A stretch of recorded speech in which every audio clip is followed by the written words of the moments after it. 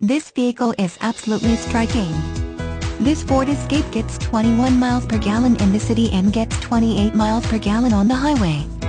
Come in for a test drive today.